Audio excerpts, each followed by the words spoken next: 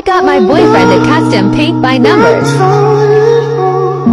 Love it, love it with nobody.